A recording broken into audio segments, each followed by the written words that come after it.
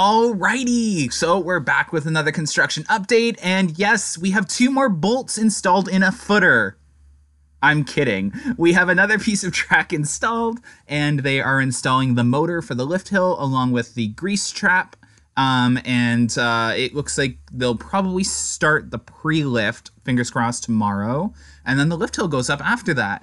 So, um, in this update, there are actually some really nerdy shots. This might be my best um, update yet in terms of like the nerd level of the shots I got. So I get some really zoomed in shots of that lift motor and the grease trap um, and the gear for the lift hill. So if you are a B&M nerd, you are going to love this video. So stay tuned for that in just a bit. Um, as usual, I don't know if I'm going to talk through the whole video because there's a lot of nerd shots and I'm not going to talk for like seven minutes straight about nothing that doesn't need to be talked about. So um, they are definitely moving ahead with, again, the gearbox went in first. Then the lift motor will probably go in tomorrow morning. Um, and then they'll put the pre pre lift. Uh, so that's the drive tire and then the first slight angle up piece of track. And then they'll put in the actual pre lift. That's that sharp incline piece that you see, and it's very tall. And then on Thursday, then is when the lift hill will actually start. So it looks like Thursday, the actual first piece uh, long 60 foot piece of the lift hill will go in. That's my guess. At this current moment, like I said yesterday, they're installing about two pieces a day. So they installed that one curve piece of track and then they installed this. So that's obviously counts as a piece. So it's still about two pieces of track a day.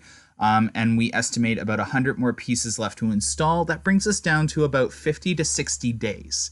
So we're looking at 50 to 60 days that they could potentially have this coaster done by.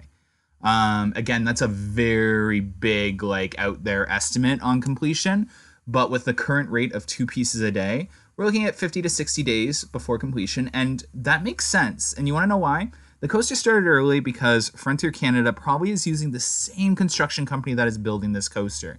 So the reason they're working on this now and getting it done much earlier than most projects is A, the tunnel, B, the sheer size of this project, and C, this construction company's got to move on to theming and Frontier Canada. So you're probably going to see UCC Group come back. You're going to see Rutherford Contracting come back. Um, and they're going to start working on everything that goes around this. Remember, they're expanding Frontier Canada all the way over to this coaster, Yukon Striker, and it's probably going to house a lot of theming and a couple of shops, and who knows, maybe a restaurant. Um, I'm hoping for a lot. We were being told that, you know, not everything was released, and the station artwork itself was not released yet either. So there's very exciting things that are going to come. As I say in a lot of my updates, we're told that the entrance to this coaster is going to be impressive. So looking forward to that. Can't wait to see renderings if they release them. Vortex is also probably going to be getting some um, paint and a rename if I had to take a wild guess. Um, so stay tuned for uh, some details on a giveaway we're going to do. So we got some awesome Vortex merch. Uh, I think I went and bought all of it. that was available. And we'll be doing a giveaway soon on that with some Vortex merch. So stay tuned for that. We'll probably start giving away stuff when we do the drone footage again a little later this week. Um, as soon as they start the lift hill, the drone will be up, and then the park closes next week. And once they're closed Monday to Friday, we'll be doing drone updates Monday through Friday.